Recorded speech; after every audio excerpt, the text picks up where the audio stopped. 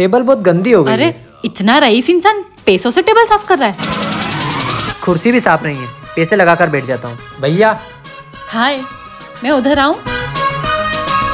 भाई साहब आपके पास इतना सारा पैसा? ऐसा कौन सा बिज़नेस करते हो आप? मेरे पास अमीर बनने का एक स्कीम हाथ लगा है जिससे मैं रातों रात करोड़पति बन मुझे भी बताओ ना करोड़पति नहीं तो लखपति बन जाऊँगी। उसके लिए कम से कम तुम्हारे पास पाँच लाख रुपए होना चाहिए। पाँच लाख तो नहीं है पाँच हज़ार है। चलेगा ए उठ चलने के से। कुछ तो बताओ ना। तू मुझे पाँच लाख रुपए देगी तो सात दिन बाद मैं तुझे दस लाख रुपए दूँगा मतलब एक का डबल मैं लेकर आती हूँ पैसे।